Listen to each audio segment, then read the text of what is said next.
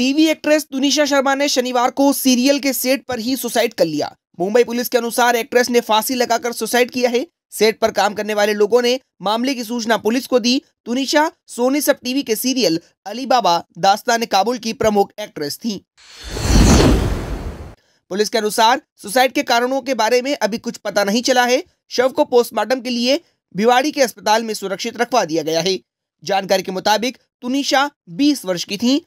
उन्होंने बाल कलाकार के रूप में अपने करियर की शुरुआत की थी। तुनिशा ने भारत के वीर पुत्र महाराणा प्रताप से टीवी करियर की शुरुआत की थी। तुनिशा ने फितूर बार बार देखो, कहानी टू, दबंग थ्री जैसी फ़िल्मों में भी काम किया था।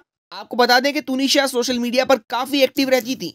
इस घटना से उनके साथ काम करने वाले लोग काफ़ी हैरान हैं। साथ ही कलाकारों ने बताया कि वो हमेशा खुश रहती थी सेट पर भी सभी के साथ हँसी मज़ाक करती थी। अपनी मौत से छह घंटे पहले ही तुनिशा ने इंस्टाग्राम पर आखिरी पोस्ट शेयर की थी।